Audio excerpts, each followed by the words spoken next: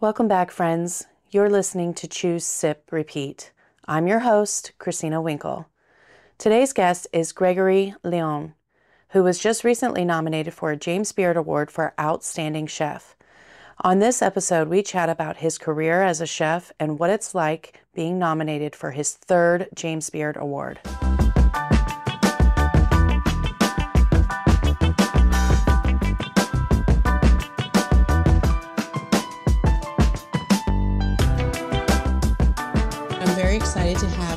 Of mine who I've known for a long time, um, Mr. or Chef Gregory, Gregory Leon. Although I always call you just Greg, not Gregory. But I, Greg's but I totally feel like.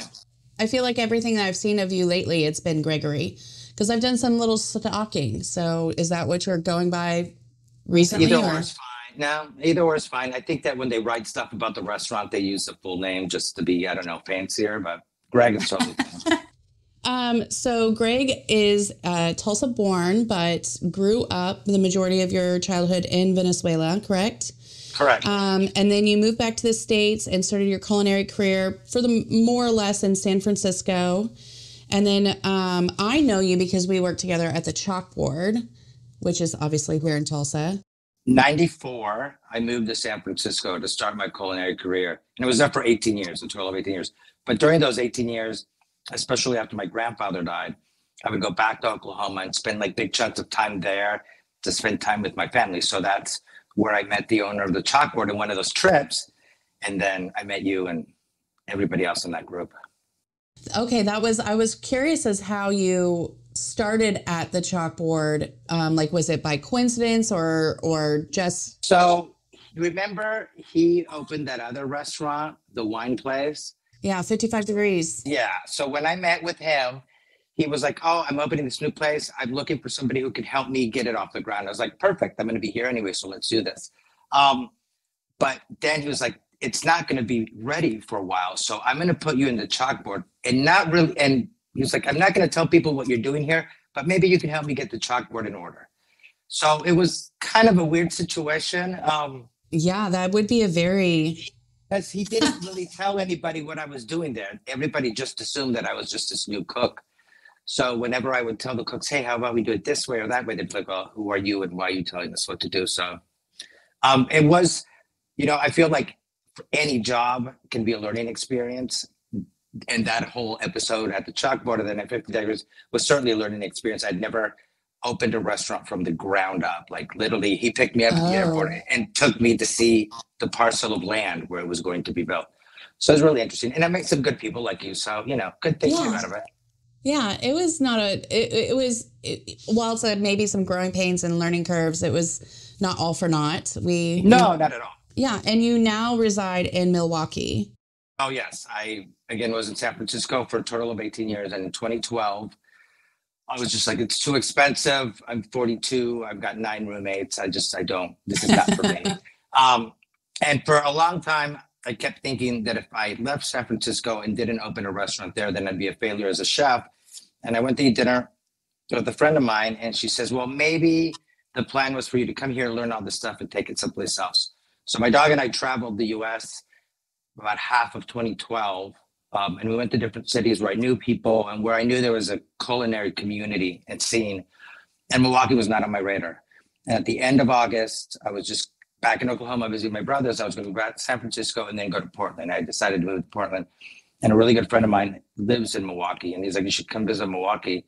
And honestly, I had no idea where it was. Like, I looked it up on a map, and I was like, "Oh, that looks really far north. It's probably really cold." And he Yeah. just like hammered me for about a week, and I was like, "Fine, I'll come check it out for a few days." And I was pleasantly surprised. I came at the end of August. It was beautiful. We're right by Lake Michigan. It is actually a very beautiful city. Um, and I went and ate about at about four or five restaurants, and it was the the scene just blew me away, and I decided to stay. That's such a great story. And I am kicking myself so much because we were just in Chicago way. this this past summer. And I told Trey, I was like, let's go see Greg and see his restaurant. But then when we were looking at logistics and everything, because we were staying, the main destination was to stay in a cabin in Michigan. Okay. So to go up there and then go all the way back around the lake, it was just kind of. But now, now I wish I would have made that a little bit more of a priority. well, next time. Next time. Yes. I will. So um, let's talk about the fact that, or I just want to make an announcement right now. We'll get into it later, but you were just nominated for uh, James Beard Award, and not not just best chef in Midwest, but like best chef in the United States. That is awesome, and I just want to say congratulations, and I'm very you. proud of you. Thank and I- you. that's so awesome. Thank you But very let's much. let's go ahead and get in and talk about you know the the formality of the show. Um, I try to keep it go the same way, just so listeners kind of understand how it works and and know what's coming next, kind of situation. But um, so at the end of every episode, we end it with where uh, the guest of that show asks the next guest on the show a question, but they don't know who the guest will be. Okay. So it's kind of very like a mystery question, a little bit of an icebreaker kind of situation. Um, and last week's guest question was it's kind of a it's it's kind of a complicated one, but it is what myth since working in the industry have you learned not to be true? What myth? Mm, let me think about this for a second. What myth? So like the best one I can think of as an example would be like or the easiest one would be so many people just assume that you take red wine and it you just drink it at room temperature which can be happen it's not going to be the worst thing that has ever happened it's not bad or anything like that but a lot of professionals will recommend that you chill it for a little slightly before serving it so that would be like a myth that I got learned. one. I got one. So Okay. the one that I that everybody has always talked about, and that I find not to always be true, and I'm glad, especially at Amilinda, which is the, the, the name of the restaurant, is that there's always this um, fight or division between the front of the house and the back of the house. You know, you hear that a lot. I've experienced it at other restaurants. Um, we don't have that at, at my place. I love that. It, it's so funny that you talk about that because um, one of the previous uh, guests I had on was uh, Tony Collins, and he and I, the main topic of the conversation was talking about champagne. Um, and just kind of how the, the the innards and and what's changing in that world. But we did spend a decent amount of time talking about the the division of front of the house and the back of the house. So that's really, uh, I think it's it speaks volume. Like that in a in in a nutshell says a lot about your restaurant, right there. Well, we have a Like we have a very small staff. There's only seven of us, including myself. okay, Um, and so, and we're there. It's the same people every day. You know, when you have a bigger restaurant with a bigger staff, you know, some days you have certain servers, some days you have certain cooks. At Amilinda, it's the same people every day. So uh, I'm very lucky that everybody gets along. And, and you know, busy service. I'm grumbling about the servers. Where's the food runner? But at the end of the day, we all get along, and uh, we're there for a purpose. And we all work very hard. And and uh, they're a great team. They work very hard, and they treat the establishment as if it was theirs. that's awesome. Uh, You you've um, obviously created a very good culture there. So, So that's that's- I would like to think so. Yeah. I I mean, I think that what you just said says that. So that's really great. Um, so let's get to know you a little bit better. Um, for those of you, I mean, you and I have a history because of like we just discussed you your your short stints here and there through Oklahoma. Um, but some people, most I would imagine the majority of the listeners that listen to this podcast might not be familiar with you because um, whilst you've been in um, you know the culinary scene for a really really long time, most of it has not been here in Tulsa, and and that currently is the mo- most of our listener. So. Um, we've already covered that you were born in Tulsa, but how old were you mo- when you moved to Venezuela? Uh, when I moved to Venezuela, I was five, and I lived there till I was 19. Oh, okay. And then at 19, I moved my whole family and I moved back to Oklahoma. We moved back to Oklahoma because that's where my grandparents were, and my mother wanted to be close to her parents. Um, and then in 1994, I hopped on a bus and went out to San Francisco. Yes. And um, so that's when you moved back to the States. Where was your first industry job? Uh, I'm assuming San Francisco. Well, I waited tables in Tulsa before I went to San Francisco. Oh, where? Mm. At TGI Fridays of all places. It's okay. I worked at Golden Corral when I first met. Oh, there you go. But uh, but I don't know if I would count that as like you know my first real industry job. You know, it was in the industry, but it wasn't really what I wanted to do. My first kitchen job was at this restaurant called Zuni Cafe in San Francisco. Uh-huh. Um, and I, when I went to San Francisco, I had no, I'd never worked in the kitchen. I had no experience whatsoever. And I figured I'll just figure it out. I was like, oh, so I didn't know anything about the food scene in San Francisco. And again, 1994, there was Food Network. I think it had been on for maybe about a year. There weren't a lot of celebrity chefs. You know, when you would tell people I want to be a chef, they would look at you and like, for what? Why? What are you going to do? It's not like now where you're like, oh, I want to be a chef, and people are like, oh, that's awesome. You know, like there was Right. no cachet. There was no cachet in being a chef or restaurant owner. Um, so I knew nothing about the San Francisco food scene. And the reason I went there was because I had had lunch with a friend of mine. And he's like, if you're really serious about becoming a chef, you need to get out of Oklahoma. You need to either go to New York or San Francisco, because at the time those were like the culinary hubs of the country. yeah. Um, so I was like, I'll go to San Francisco. It's California. It's going to be warm. Um, and it was not. San Francisco was cold and rainy the day I got there. Um, but I walked by this building that I thought was really pretty, and I went in and I was like, "Are you looking for help?" And they said, "Yeah." So I filled out the application. I lied on the application um, and said I had like more experience than I did, and that lasted for about three months. And Marsha McBride at the time was the kitchen manager, and she was very nice. She took me to her office. She's like, "You know, you're trying really hard, but you're horrible at this." So you, she basically was like, I, I can't have you screwing up our stuff at the restaurant. I let her learn that what Zuni was, and and it's a restaurant that had been around, I think, since either the 70s or the 80s. I don't really, I think since the 80s, um, and it's it was an establishment. So um, that putting that on the next application, I at least got chefs to speak to me, and then I was honest and open with them. I was like, I don't know what I'm doing. This is what I want to do. And my plan was to go there, make some money, and go to school but after two years, um, I just never went to school and I just kind of learned on the job. I was very lucky that some chefs were willing to take me under their wing and teach me and be very patient with me.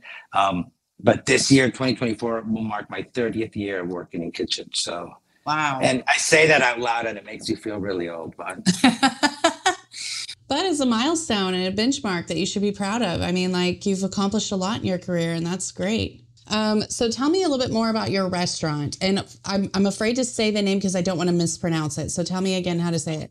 the name of the restaurant is called Amilinda. Ami Linda. Melinda, and it is a combination of my parents' name.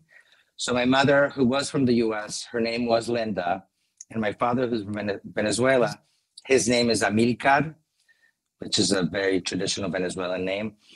Um, and so we combined those two names for the name of the restaurant. Um, it also means "to my beautiful," and also in Venezuela, houses have names, not numbers.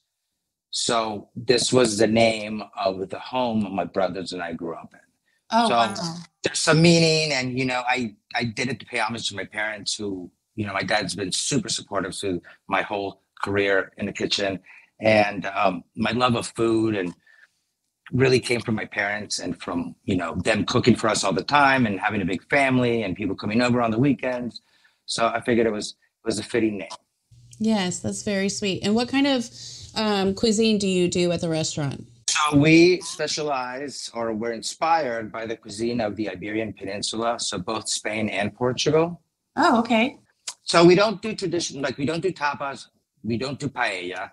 Um, you know, when we opened, my opinion was that most American diners, when you said Spanish food, they're like, oh, paella and tapas. And I'm like, yes, but there's more to it. So our goal was to show a case all the other amazing things that they eat there. So we'll take traditional recipes and adapt them to um, what we can get here, maybe to our own personal tastes. We tweak them a little bit.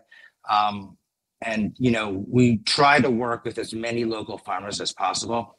It gets a little difficult in the winter. Um, but Mhm. spring, spring, summer, and fall are amazing here in Wisconsin because we've got some really great, great, great farmers. And I have one farmer that I've been working with since the restaurant was actually a pop-up. So before we opened where we are now, which we will celebrate nine years in August, from December of 2013 to January of 2015, we were a pop-up restaurant. And for Oh, those who don't know, wow. so we would pop up at the National Cafe every Saturday night. We did that for about a year. Yeah, I mean, I've seen a lot of people do that, but I haven't seen a lot of people do that um, successfully for that long of a period. So, what was that like? How was the pop up? I mean, you did that for two years. about about a year, a year and a month or so. Um, it was great. You know, I did I did most of the prep and cooking in my house. then we would take it to the restaurant.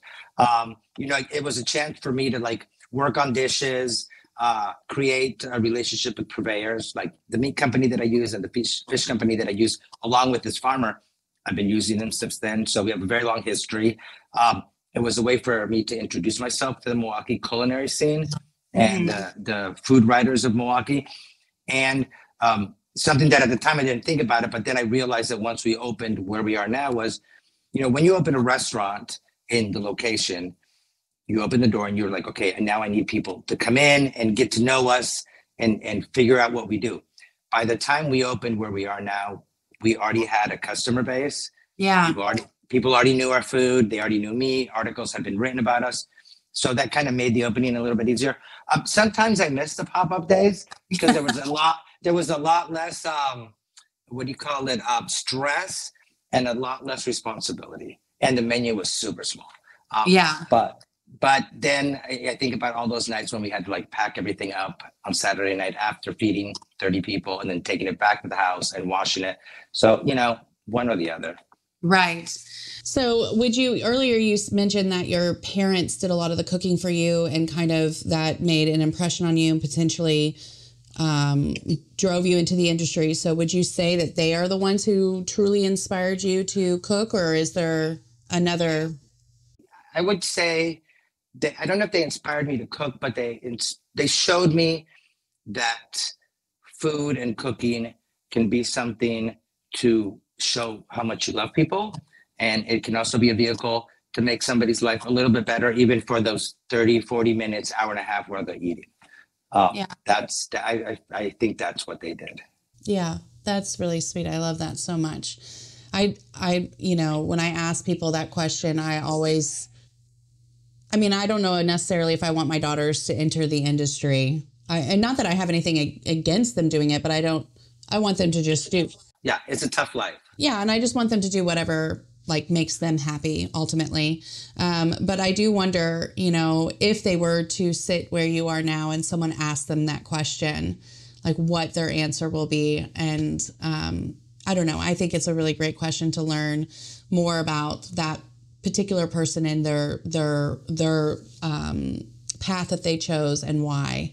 And I, the way that you answered, you can tell that you are really passionate about about food, and food is your love language, and it's the way that you show your your care. And it's Thank awesome. you. I can't I can't imagine doing anything else. I mean, and there's days when I get home and I'm like, oh, I just want to lock that place down and burn it to the ground. Um, but at the end of the day, I also realize it's my restaurant. It's busy. It's very well regarded. You know, it's Milwaukee's been amazing to us. Um, so I'm so grateful for it, even though there's days when I'm just like, oh my God, I, I just want to run away from this place. Um, you know, I have a friend from junior high who I still speak to, and he swears that when I was like 15, I told him I wanted to be a chef. I don't really remember that. Uh, but he, I mean, and he's the kind of person that wouldn't make something up. So I believe him when he tells me this story, but, and then I'm impressed that he remembers a conversation we had when we were 14. Right. 40 I- years ago. I have a similar story. My mother, uh, one time in her um, attempt to teach me how to cook when I was a teenager, and I had zero desire to do it. She was trying to teach me how to make fried okra, and she was like, "Come in, come in the kitchen. Like I'm going to teach you how to cook." And I looked at her and I said, "I don't need to learn how to cook. I'm going to marry a chef." and look at you. and I did. You married a chef. Yeah. Now, I do have a quick question for you. Does he cook a lot at home? Yes, a lot. He's a rarity because Yeah, I, I don't even remember when was the last time I cooked at home. really. Um, and a lot of my chef friends here in Milwaukee, we talk about it and we're like, yeah, I don't like, I will come home. If I don't eat dinner at the restaurant before I leave, my sous chef is really good about like making sure I eat something before I leave. But if it's just super hectic, or I'm just like, I'm not hungry, it's a bowl of cereal or like a sandwich. yeah. Well, Every, think- every once in a while on a Monday, which, so we're closed Sunday, Mondays and Tuesdays. Every once in a while on a Monday, I was like, I'm going to make some Italian food, but it's a rarity. So he's a gem. You hold on to that man. I have no desire to let him go, but um, I think a lot of it probably has to do. Like I, I was talking about this to a friend the other day. A lot of it, the fact that he and I, well, I I cook too, but Um, we probably he probably cooks probably I would say sixty five to seventy five percent of the time, and then I just plug in the days when he's like, you can tell he really doesn't Also, want to. also have kids too, which you need to feed. You know, I Right, I have two dogs, Yeah, yeah. You can just open up a can or a can, or yeah, here's Yeah. your dry food. Yeah. So the kids really are what is the driving factor there because before we had children, he and I were going out all the time and visiting our friends at restaurants and all of that. But the kids, they it it they have to be fed, you know, it's a requirement. and it's expensive to go out for a family of five every, you know, meal. So you have to cook at home. Yeah. So it's that's the big thing probably. And I, he hasn't been cooking as long as you have. So I think it's still um, fresh and exciting for him. yeah, especially when he's exploring new um, genres or a new ingredient or a new technique or something like that, then it's he kind of starts, you know, thinking about a lot more um, and wants to do it out at home as well. So yeah, it's a little bit different. Um, Good for him though. he, he's pretty great. Um, what I'm you mentioned earlier with um, the restaurant being closed Sunday is you said Sunday, Monday, and Tuesday. Yeah. So prior to the pandemic, we were only closed Sundays and Mondays. And then, you know, with that thing that happened in 2020, um, when we reopened, when we were allowed to reopen, we were only open Thursday, Fridays, and Saturdays. And Right. then I think at the beginning of last year, was it? Or maybe it was the year before last. Wait, this, no, the year, yeah, at the beginning of 2022, I think we decided to open on Wednesdays. And so now we're open Wednesdays through Saturdays. Um, I'm not sure we'll ever open on mm, mm, uh, Tuesdays. Sorry, on Tuesdays again. Um, you know, my staff likes having three days off. I like having three days off. Um, we use those days, Mondays and Tuesdays, to do like special events, um, Yeah. private parties and stuff like that. So, you know, we're also downtown. Um, and, you know, downtown Milwaukee, although it is vibrant and has lots of restaurants, you know, Mondays and Tuesdays, it's a little bit of a ghost town. And a lot of people haven't come back to the office yet. So, uh, Tuesdays, the majority of our business was also business travelers, and that's not really come back yet. So, we'll probably stay the way we are. Yeah, I, the, Tulsa is kind of struggling with a similar thing of the downtown um, population not coming back to work. A lot of them still working from home, so a lot, especially a lot of the day lunch restaurants, are really struggling. So, do you only open for dinner, or you do lunch and? Only dinner. Okay. We're uh, actually in about two weeks. We're about to launch like this kind of hybrid lunch situation on Thursdays and Fridays, but it's only going to be to go, and it's a very limited menu, um, just to see how that goes. We were about to open for lunch um, when the pandemic hit, which I fought to the nail. I didn't want to do it. I didn't want to do it. I didn't want to do it. And at the time, I had a business partner, um, and he's like, "Oh no, we have to do this," and I was like, "Fine."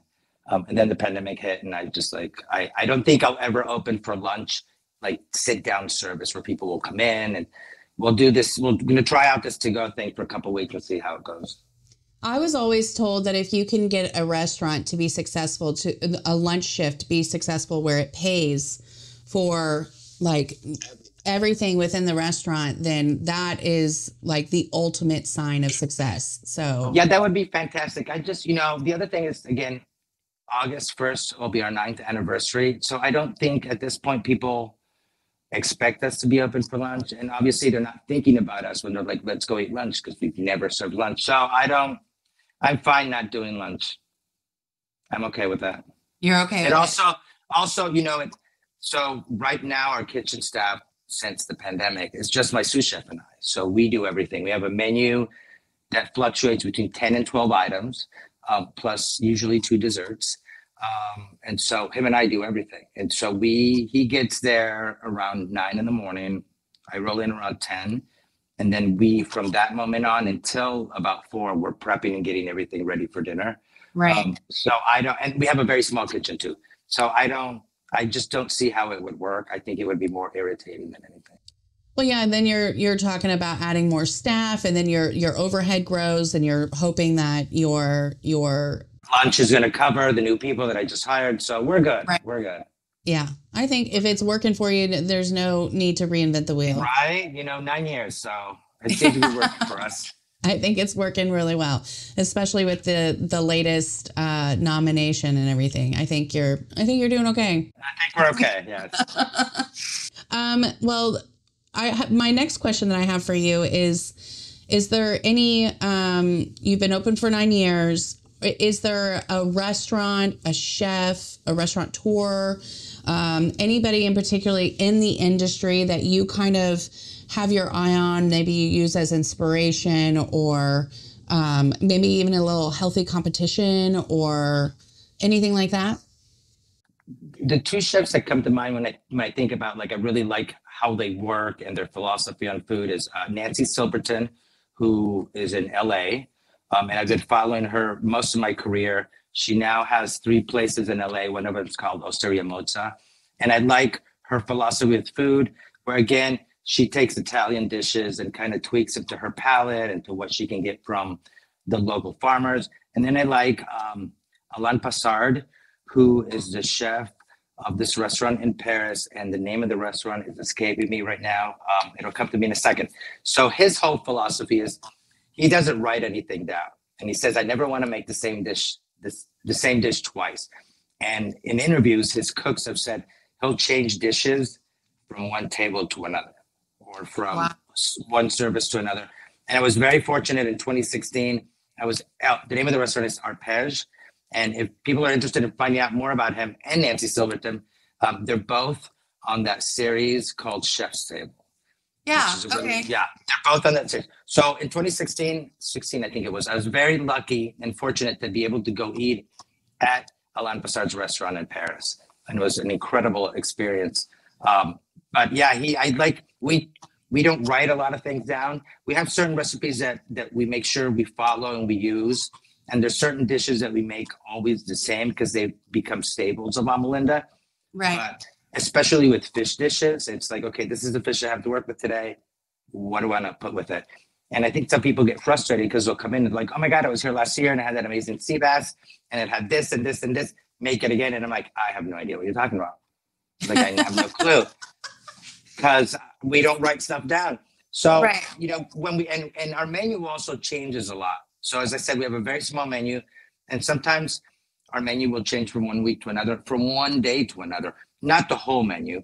We've tried that a couple times, and we've learned that putting five new dishes on the menu at once is probably the limit for us, just because it's a lot. Um, but you know, we'll keep a dish on for a couple weeks if people really like it, then maybe we'll keep it on for a couple more weeks. You know, sometimes we'll keep something on for about a month and a half. It depends on how bored I get with it. Um, it depends on you know whether or not we can continue to get the produce that we're using for the dish. Um, and, and again, when we first opened, people would get really frustrated. They're like, "I was here last week, and the menu's completely different. I wanted what I had last week." So we kind of had to. And I hate the word use the word train because it makes it sound like they're dogs, but we had to educate our diners that no, this is kind of what we do here, and we like to keep it, and we like to change things. And you know, I one of the main decisions for doing that was I remember when I was a line cook and I was working for somebody else, and you go into the restaurant and you're doing the same thing every day. You kind of become a robot, and then you're not really paying attention to what you're doing. I feel this way you keep people interested and engaged, um, along with the diners. Um, the other thing we do with our menu is that I want input from my sous chef um, and uh, right now, I have this amazing young man named Trevor Carper who is just an incredible, incredible sous chef. He's got such a good palate, and he's so committed to the restaurant. And he just comes in every day, and he's just so excited. Um, and uh, so I, I come to him, and I was like, okay, I need a new steak dish. We need a new vegetarian. Um, let's take the lamb off and put some other kind of protein. So get me some stuff. And he'll come to me, and then we'll talk about it before he came down Melinda, he didn't have a lot of experience with Spanish or Portuguese food. Now he's gotten a lot better. He's been there for about a year now. Um, but you know, we'll tweak it a little bit. I'll be like, oh, these ingredients are screaming to me Asian, so how about we change it to this? Uh, but yeah, I want people to feel some sort of ownership with the menu also. So I, I want some input. I don't know everything, and I don't think I have the brain capacity to constantly come up with like 12 dishes every week. So I appreciate his help. Well, and I imagine he, uh, you know, with with his new the new energy that he's bringing to the table and how um, committed he is to the restaurant and his um, enthusiasm probably eh, you know rubs off on you and it's a give and take kind of relationship. Yeah, hundred percent. Like you know, he'll text me sometimes at like one or two in the morning, and I was like, "Dude, go get some rest." Like I like the idea. We'll talk about this tomorrow. Go to sleep. So yeah, he's very he's very excited about everything, and he, he's I'm very excited to see where his career will go because he's going to be a shining star. That's awesome. I love that you're speaking so um, proudly of him. Uh, I feel like a lot of chefs slash mentors, um, executive chefs specifically, don't particularly harken back and, and give pay homage to the ones that are helping them push on that pedestal. So yeah, you know, I make sure, you know, I try to talk to as many tables as I can every night, and you know, the tables will be like, "Oh my God, the food's so great, we love this place," and I always make sure to say, "This is a group effort. I don't do everything in this restaurant. I can't. It's physically impossible." So I want to make sure that the people that are working in that restaurant are getting the praise that they deserve, and I'll have other chefs tell me, he's like, you know, I hear you when they'll be like, oh, I love XYZ dish. Like you go to a table and they'll be like, oh, I really like this dish. You will say, oh, I will let the sous chef know because he made it. He's like, you know, we're, I'll have chefs to be like, that's not like very old school and, and you should take credit for it because it's your restaurant. I'm like, I'm not that insecure that I need to take credit for other people's work. And right. that, you know, that's kind of a gross thing to, to do. I think, I think it's my opinion. Um, you know, let these people know they're doing a good job. If, if, if the dish that the customer's talking about is his, he created it and he cooked it, well, let's give him the props because he deserves it. Well, and I feel like as a, a I've you know been in management or in um, some capacity of a leadership role for a good portion of my career, and people who feel appreciated work harder. So if you're giving them the praise and letting them know that the diners are appreciating his creativity, his hard work, his dedication to his craft, honing his craft, um, then he's just going to work harder for you and for himself, which only benefits the restaurant. So that's great. Yeah. I'm curious to know a little bit more like, how long did it take, you know, because it's so unusual what you're doing with a restaurant as far as like, changing the, the dishes and the menu so frequently. Um, the only, well, I'm sure there are other restaurants here in town that are similar to that. One that kind of strikes me as probably a staple where people has it's been successful in doing so is Stone Horse. Now they don't they don't change the menu like drastically and probably change menu less often now than what they did before. Um, but they were doing that for a while and it, i felt like i'm curious how long did it take you to get your diners to like come on this journey with you and it not be such a struggle in saying okay i'm sorry you're disappointed we don't have that dish tonight you know if i had i, I probably i'm kind of guessing because i'm sure the front of the house heard it more than i did. I would say probably about i'm going to say about a year i think once we hit the year mark and articles had been written about us um, i think they kind of knew. I mean, we still have people who come in and they're like, oh, you know, like this past week, and we had a couple um, newbies come in and they're like, I'm coming next week to get the trout. And I was like, well, I can't tell you if the trout's going to be the same next week. We might not even have trout. We'll have something else maybe. And so they're like, oh, okay. Well, maybe I'll come tomorrow. And I was like, well, we're closed tomorrow on Sunday. But I think for the most part, for the most part, our regular diners know what it is and and they, and and I think they expect it now. Like they're very excited. And you know, Sometimes it's just maybe one component of a dish, especially in the spring and summer when we're getting so much bounty Yeah. from the farmers. We'll get stuff and I'm like, oh my God, this green will look good on the fish or, or it'll complement this sauce. Um, sometimes it's a complete, totally different dish, different protein, has nothing to do with what it's replacing. Um, so there's different levels of, uh, but this last week we actually changed. I think I got the, on Tuesday night, I texted Trevor and I was like, we're doing five new dishes tomorrow. And then I showed up and I was like, okay, that was a bad idea. Let's do two. Let's do the let's do the two entrees because they're really complicated. And then tomorrow we'll do the three starters. Um, and you know, we had some people come in with like, oh, I just looked at your menu online, which that's a whole nother a whole nother thing with people looking at menus online. Um, I'm going to give diners some advice. If you want to look at the restaurant's menu, go to the restaurant's website. Don't Google Amilinda's menu because Right. you know, our menu is, we've had hundreds of menus since we opened. And we had a lady come in a couple weeks ago and she sits down and she's like, well, this isn't the menu I saw. And so and she was being fairly rude to the waiter. So he's like, can you just please go talk to her? I was like, sure. So I go out there and I'm like, you know, what's the issue? She's like, well, this isn't the menu I saw. And I'm like, well, where did you see the menu? On the internet. And I'm like, okay, well, this doesn't help me. I'm like, where on the internet? Did you Google? She's like, I Googled it. And I'm like, okay, cool. I'm like, I cannot be responsible for old menus people have posted. And people will take pictures of the menu and post it. Sure. Like, if you want, I said, our menu is updated every day at four in the afternoon. So if you're coming in on Wednesday, Wednesday at four in the afternoon, go to our website and look at the menu. So she's like, well, how am I supposed to know that? I'm like, well, I'm like, that's what I do. I don't know. I, you know, she, I think she, I think she was a lost cause because she walks in, she's like, this isn't what I expected, like from the get go. And, I- and I, I was like, what did you expect? Well, the music's not Spanish. I, this is not what I expected. I was like, okay, cool. Ah. I don't, I don't really know what to say. Her husband was very nice. I well, you know, there's you know this, I know this. People who've been in the industry for a lengthy period of time know this, um, or should know this. You can't please everyone, and and everyone has their own. Everyone looks through life through their own lens and have their own tastes and their own desires, their own wants, and you you can't. My other favorite one is like, well, this isn't how I had it in Spain. And I'm like, Right. well, did you eat it in this region of Spain or did you eat it in this region of Spain? Because it varies. Was the season the same when you had this versus when you you know? There's a lot of variables. Yeah. Yeah, totally. So, you know, but we have an amazing uh, core set of diners who have been super supportive of us since we opened.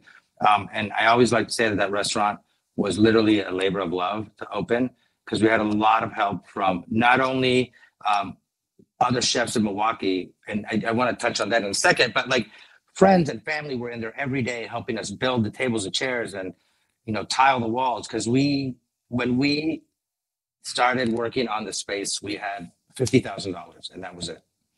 Wow. And uh, the day we opened, and I didn't find this out until several months later, um, my business partner informed me. He's like, the only reason we were able to get food so you could start cooking was because we had credit with these companies. He's like, because we had no money in the bank. Um, but um, yeah, Milwaukee's been great, and and the diners have been great, and and and it's it's been an amazing journey. And again, it was labor of love to open that restaurant. That's awesome. Okay, well, I want to talk a little bit more about your nomination. So, um, for those of the listeners that are maybe not so aware of the James Beard Awards, um, I think we should start off with James Beard himself and just give a little background about that.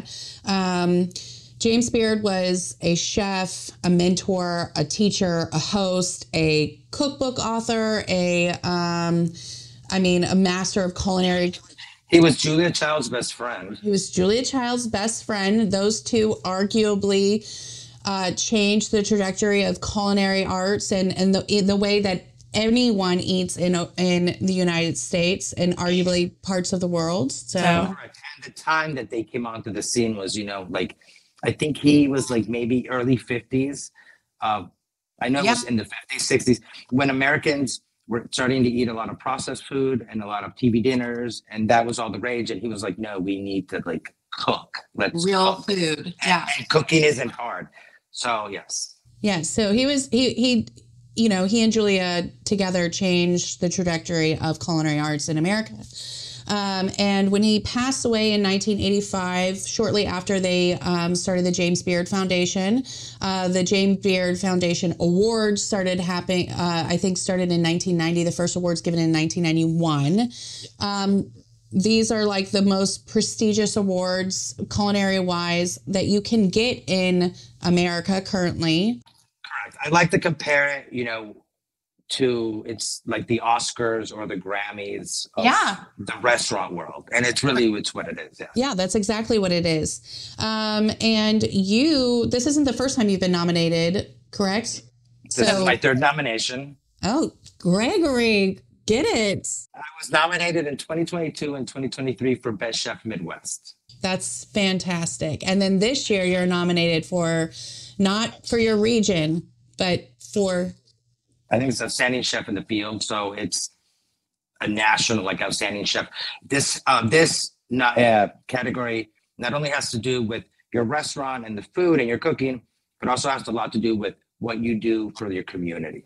So Yeah. we try to do a lot for the community at Amoda. So That was my next question and kind of like plays into that a little bit more. So, what does this nomination, what does it mean to you, but what does it mean for your community? Like, how does it affect Milwaukee? Um, what, what does that mean?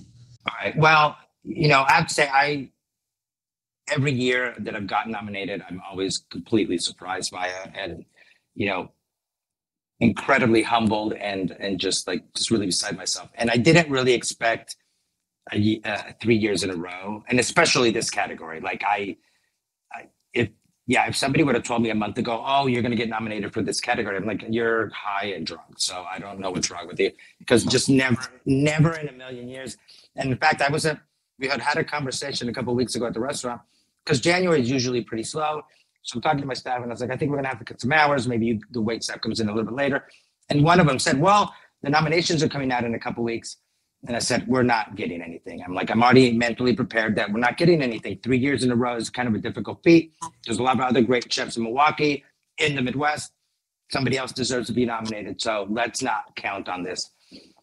Came home on Tuesday night, went to bed, and I'm laying in bed Wednesday morning, it's like eight in the morning. I'm with the dogs, and my phone is just going off. And I was like, that restaurant better be on fire for these people to be texting me this early in the morning. and I don't have my glasses on, and I grab the phone, and I'm trying. And there's all these texts, and it's like, what is going on? And then um, I finally opened one from a chef here in Milwaukee. He's a very good friend of mine, and uh, it just said outstanding um, chef. And I was like, outstanding what? What did I do? And he's like, just go. And so it was. I was really surprised. Um, and you know, it's it's it's a very humbling experience. Another really good friend of mine, she's loves restaurants, and she's kind of a chef nerd. Um, she every other day she's texting me names of chefs who have been nominated in this category. And I was like, you really need to stop doing that because you're starting to freak me out. So like Nancy Silverton was one, Jose Andres has been in this category, um, Mario Batali has been in this category. So, you know, I, I wake up every day and I was like, was this a dream? I go check the website to make sure my name is still on the list because I still like, you know, and it, there's a range of emotions that come with it. Uh, you know, some days I I'll just like start crying at the restaurant for no reason. Um, and then there's days when I'm just like super stressed about it. But, you know, again, talking about Trevor, he just looks at me, he's like, calm down. He's like, calm down. He's convinced that we're winning. Like in his mind, he's already bought a suit. We're going to Chicago. We got this. Oh man, I really hope that you guys do. I really do. Uh, you know, I would obviously love. So the list is there's 20 of us right now, and that's how it is for all the categories. They narrow the list down April, the beginning of April. be, um, The last two years, I've made it to Chicago. Um, we'll see this year. It's an honor to even make it this far. Um, I Right. would love to. I would love to go to Chicago just so I could take Trevor, and I think my dad will be in the country then also. So it'd be amazing to go with my dad. Like that. yes, would that sounds so beautiful. Share that moment with your father. fingers crossed we make it to Chicago. And if we don't win, that's okay. At least we will recognize it. Um, you know, I think for the well, the city of Milwaukee has always, I mean, I can't say always, but since I've been here, has always done really well in James Beard nominations. There's actually two, I think there's two, maybe three chefs. No, there's probably four chefs that are either currently cooking in Milwaukee or have retired who have won Best Chef Midwest, I think. So Milwaukee's got a really great culinary scene. Um, but you know, right now this year, there's six of us from Milwaukee that are nominated in different categories. Um, I think there's four of them or five of them who are Best Chef Midwest, and then myself and Outstanding Chef. Um, it's it, this makes it puts Milwaukee on the map because a lot of people don't think of Milwaukee as being a really good food city. They're like, oh, brats and cheese curds, great. Um, but we've got some really. I mean, they're good, but there's only so much of that I can eat. I, I actually, I'm not a huge fan of them. Um, the, the squeakiness freaks me out. Um, but we've got some great, great people here. You know, uh, Dan Jacobs and Dan Van Rite, who own DanDan and EsterEv, they're nominated for Best Chef uh, Midwest. Incredible food, incredible food, and just really outstanding people. Um, Ross and Sam, who are at Odd Duck, That was the restaurant. I ate dinner when I came to visit Milwaukee there, and I was like, okay, Milwaukee actually is serious about food. Um, who else is nominated? Um, Kyle, and I can never remember his uh, pronounce his last name. He has Birch. That place is insane too. So we're the, the, Milwaukee Diner is very lucky because um, there's some very talented people here. And one of the things I wanted to talk about earlier that I forgot was there's a, a real sense of community amongst the majority of the chefs and restaurateurs here in Milwaukee, which is something that I had never experienced until I came to Milwaukee. Um, there's a certain amount of healthy competition, but we also all look out for each other and we take care of each other. I think that's why uh, we did much better than other cities during the pandemic as far as restaurants closing because Yeah. we were all like looking after each other. Okay, how can I help you make some money? And and we're going to do this, and I'm going to start this program feeding the homeless, and you're going to provide me meals, and then we're going to pay you a thousand dollars that we're going to raise through uh, grants. And so, I, yeah, I, it's when I first moved here and started meeting all these other chefs and restaurant owners, and they're like, "Well, what do you need? How can we help you open a restaurant?" I was like, "What do you want? Like, why are you this friendly?" But there's something to be said about the Midwest nice. Um, Yeah. and uh, you know it's it's incredible. We, we we support each other at any given night of the week. We'll be at each other's restaurants. Um, yeah, it's it's it's great. So Milwaukee's very lucky, and I hope and I think Milwaukee realizes that actually. That's awesome. Milwaukee's really good at supporting the small, independently owned restaurants. It sounds like you're, I mean, I don't want to put words in your mouth, but it sounds like you, Milwaukee's home now, Greg. Well, eh, um, I hate winter. I hate winter. I feel like if I would have come to visit in the winter, I probably would not be having this conversation with you. Um, I've been here for 12 years. It, this year will be my 12th year. I love it. Um, I've made some amazing friends. So for the time being, it's home. You know, um, Amilinda Yeah. will be 10 next year. Um, and then we'll see what happens after that yeah. That's awesome. but Okay. you know go, go real quick going back to like talking about how supportive the community is of the restaurants here um, during the pandemic when the first set of um, stimulus checks went out we had customers or regulars send us their stimulus checks and be, and be like here we don't need this we want to make sure the restaurant survives so you just use this to keep the restaurant open which was yeah it's uh, it's quite i was quite taken back and and yeah. That's Greg. I mean, I don't, I don't know of anybody that has had that happen to. I mean, maybe they did, but I don't know of it. That's it was pretty incredible That and it's funny because i will talk to tables and they'll be you know i'll make like a, a joke or a passing comment about like after 10 years i'm shutting down and they just get visibly upset why like well i don't i don't really want to work saute till i'm 80 and uh i don't know like my back and it's too cold here sometimes so you right. know but Uh, there a lot of people feel like they own part of the restaurant actually That is really awesome. It's great. It's great it's great I mean, I have not eaten at your restaurant, but it sounds like you have not only fed these people obviously delicious food, otherwise they wouldn't keep coming back, but you've you've you've made some sort of positive impact on that community. You know, we when we when we when I opened the restaurant, I made a very clear decision that not only was it going to be a space to feed people, but we wanted to try to use it to elevate other people in the community in the industry and to use it to kind of make our community better. So, you know, we if it wasn't because Nell, who used to own the National Cafe, allowed me to do my pop-up at um, at, at her place, I don't know if Amilinda would have ever opened. So the first thing we did was like, okay, we're gonna host other chefs and restaurateurs. They can come here, do pop-ups, get their foot in the door, get their name out there. So we've done a bunch of those. And then the two programs that I'm super proud of that we've started since we've been open, and these were both, um, one was in 2018 or 2019, and that one's called Tables Across Borders. And uh, we were one of the first restaurants to participate in it. My friend Kai, who worked with refugees here in Milwaukee, came to me and she said, I want to help refugees. Would you mind letting them come and use your restaurant? We'll do a dinner, we'll raise some money. So the way it works is uh, we invite refugees who have just settled to Milwaukee to come to Amilinda and prepare the food of their homeland. Uh-huh. Um, we sell tickets, and then 100% of the ticket proceeds goes to them. So we see nothing. Uh, my staff volunteers, so they don't get paid for the evening. And it's a good way for them to get some money in their pocket and buy those essential things they need once they get here. Um, and it's fun for us in the restaurant because we get to see how they're cooking and what their cuisine is like. And then the customers get to try a new food. So we're about to start the 2024 session and we have our first one in a couple of weeks and it's going to be Burmese food. So I'm super excited about. Wow. So that that program I really love.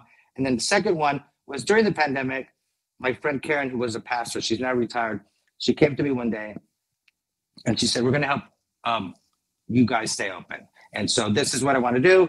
We're, I'm going to raise a bunch of money. I need you to find nine other restaurants, include Amilinda, and we're going to feed the homeless. And this was probably like about two months into the pandemic. And I looked at her and I was like, Karen, I don't have the bandwidth for this. I'm barely keeping this place open. And she's like, no, we're going to do it. I was like, okay, fine. So she raised, I think we ended up giving out by the time the program ended. And so basically what the program was every Saturday, three restaurants. So we had a roster of 10, and one of them was Amilinda. Three restaurants would provide us 100 meals in to go containers. And then Hungry Hearts, which is the name of the program, would pay the restaurants $1,000. And then those meals were distributed amongst the community, people who had lost their jobs or people who were homeless. Um, and we did that until I think October of 2022, maybe. Wow. Or maybe, or maybe it was maybe it was spring of 2023. It's all a blur. So I think the other day I was looking at some numbers, and I think we ended up handing out about 50,000 meals. Wow. time. And we raised or gave to restaurants, I think it was close to $500,000. Wow. And that the restaurants were able to stay open, keep their staff, you know. So those are two of the things that we've done that that I'm really proud of that have made a change in our in our community. But you know, I'm in a position where I can help other people, so I don't see why I wouldn't. Yeah. You know. Yeah. Um, what do you think? Like, I mean, all of those things that you just said, I feel like would be the perfect answer to this. But I'm curious if there's anything more. Like, you're not done. What is the culinary imprint that you hope to leave? I don't know if it's like a culinary imprint as far as like food wise, but I think I would like for people 30 years from now to be like, oh, remember that restaurant Amilinda? Not only did they serve good food, but they did really great things for the community. Um, Yeah. And their staff went off to do really good things. You know, I have, I look at some of the people that have worked for us, especially in the kitchen, and I'm just like blown away where they are. You know, I have a sous chef now who is executive chef of a newly opened restaurant. I have another sous chef who's about to go be go the sous be the sous chef at another super busy, very fancy big restaurant. Um, so I'm proud of, of the people that have worked at Amilinda and have gone on to do great things. So that's that's what I hope our imprint is, is that not only did we serve great food and made people happy for an hour and a half while they were sitting there, but that we were able to change our community and elevate people who work for us. Yeah, that's pretty awesome. I love that answer. Um, so you were talking about how much you hate the weather in the winter time. You know, Tulsa doesn't get a lot of snow or get real Real cold. You and you know, you and my aunt. Like the two of you are talking to each other because every time I go home for Thanksgiving, she's like, you know, when are you moving back? And I, I you know, in all honesty, I do struggle with that. You know, we're all getting older. Um, my nieces and nephews are getting older. Um, you know, I have a very tight relationship with my brothers, and although we talk almost every day or every other day, you know, we're not, we don't see each other that often. Right. What I've told people that if I were to ever leave Milwaukee, and I'm not saying that I am, so everybody calm down. Amilinda still open. Um, if I'm leaving the country, I would go back to Oklahoma. Really? be So there's a chance. just- well, I mean, it's a very slim chance, but I would go back because the last two years I've gone to visit Mexico City, and I am in love with Mexico City, and it's so warm, and I they have no snow, and it would be amazing. So Yes. if you if you guys ever want to take a trip outside of the country, I highly recommend Mexico City. Well, you move to Mexico City. I'm definitely going to come see you there for sure. Perfect. And I mean, we're, I'm talking in another 10, 15 years. Right.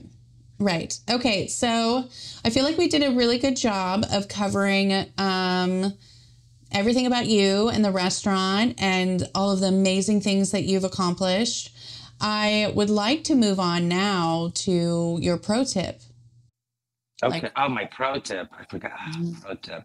I'm sure I've got one. Let me think about this. Okay, I got one.